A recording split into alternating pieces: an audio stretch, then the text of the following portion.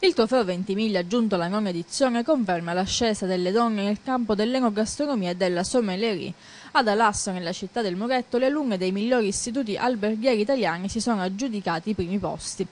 L'alberghiero di Siracusa Federico II di Svezia, rappresentato dalle alunne della quinta A ristorazione Francesca Mangiafico e Sara Parisi, accompagnate dal professore Bongiovanni insegnante di Sala Bar, conquista il secondo posto nella prova dedicata alla preparazione del cocktail arancini a base di succo d'arancia, rosolio al d'India e gin.